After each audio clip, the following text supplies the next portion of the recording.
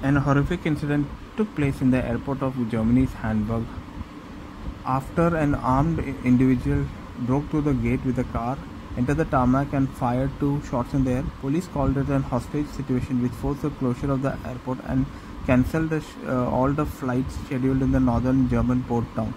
The gunman drove past the entrance onto the airport's apron, which is where the planes are parked, unloaded, and refueled on 4th November around 8 pm.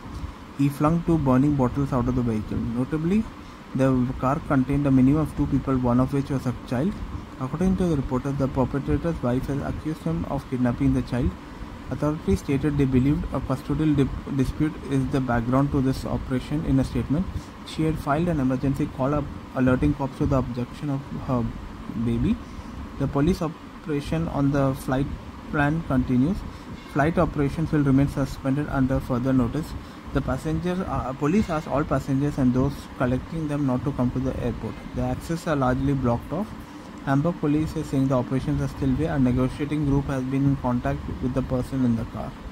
The airport declared on its website that there is no more arrivals and de- departures and a cancellation will continue till 5th November.